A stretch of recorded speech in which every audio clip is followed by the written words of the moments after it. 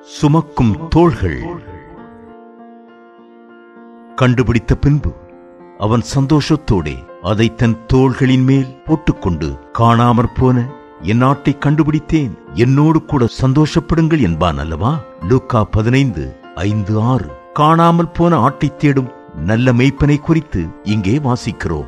நானே நல்ல மெய்ப்பன் என்று சொன்ன இயேசு கிறிஸ்து மறைமுகமாக தன்னுடைய தோள்களை குறித்தே இங்கே பேசுகிறார். அந்த தோள்கள் நம்மை தூக்கி சுமக்கும் தோள்கள். லூக்கா பதினைந்தாம் அதிகாரத்தில் மூன்று உவமைகள் அடுத்தடுத்து வருகின்றன. ஆனால் அவற்றின் கருத்து ஒன்றுதான். முதலாவது காணாமல் போன ஆட்டை கண்டுபிடித்த மெய்ப்பன். இரண்டாவது காணாமல் போன வெள்ளி காசை கண்டுபிடித்த ஸ்திரீ. மூன்றாவது காணாமல் போன இளைய குமாரனை ஏற்றுக்கொண்ட அன்பின் தகப்பன். கர்த்தரை விட்டு தூரப்பட்டு மாயையை பின்பற்றி உலக நேசத்தை நோக்கி செல்லுகிறவர்கள் காணாமல் போன ஆட்டை போன்றவர்கள்தான். ஆனால் கர்த்தரோ இப்படிப்பட்டவர்களை தேடி தேடி கரடு முரடான பாதைகளிலும் நடந்து வருகிறார். அவரது பாதங்களிலெல்லாம் இரத்தம் வழிகிறது. உடையான சேற்றிலிருந்து தூக்கி எடுக்கிறார். தன்னுடைய இரத்தத்தால் கழுவி சுத்திகரிக்கிறார். பின்பு தமது தோளிலே தூக்கி சுமந்து கொண்டு வருகிறார். உங்கள் குடும்பத்திலே ரட்சிக்கப்படாத நிலையில் யாராகிலும் இருக்கிறார்களா? மனம் திரும்பாமல் பாவ வாழ்க்கையில் வாழ்ந்து கொண்டிருக்கும் கெட்ட குமாரர்கள் உண்டா?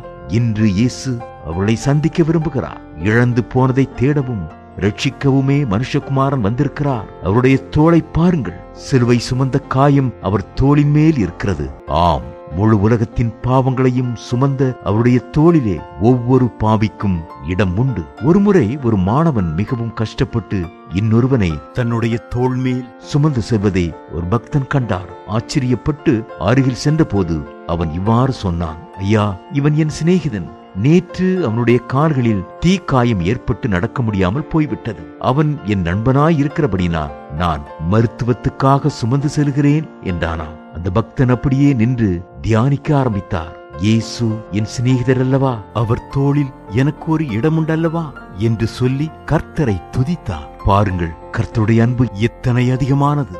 நாம் பாவிகளாய் இருந்த போதும் கூட நமக்காக ஜீவனை கொடுத்த சிலுவை சுமந்த தோளிலே நம்மை தூக்கி சுமந்து தம்முடைய அன்பை வெளிப்படுத்தினாரே. இந்த அன்புக்கு ஈடு இணையான அன்பு வேறு ஏதேனும் உண்டோ? அன்றைக்கு அவர் பாவிகளை சிநேகித்து அவர்களோடு அன்பின் ஐக்கியம் கொண்டு உணவருந்திய போது மற்றவர்கள் எல்லோரும் அவரை ஆயக்காரருக்கும் பாவிகளுக்கும் சிநேகிதன் என்று சொல்லி வசைமொழி கூறினார்கள். மத்தேயு பதினொன்று பத்தொன்பது. ஆனால் அவரோ அதை பொருட்படுத்தாமல் நம்மோடு கூட தன்னை இணைத்துக் கொள்ள சித்தமானார். தேவ பிள்ளைகளே நீங்கள் அவருடைய தோளின் மேல் இருக்கிறீர்கள்